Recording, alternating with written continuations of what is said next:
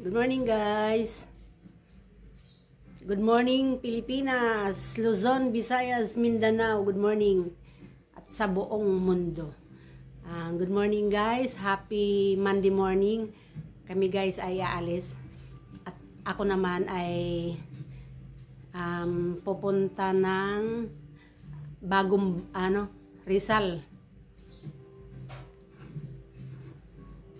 Subaybayan nyo guys ang aking paglalakbay. Abangan nyo na lang ang aking mga pag-upload.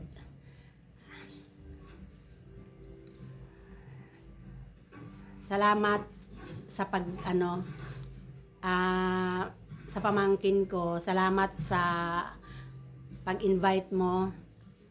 Salamat. ah, best wishes na lang sa inyong dalawa.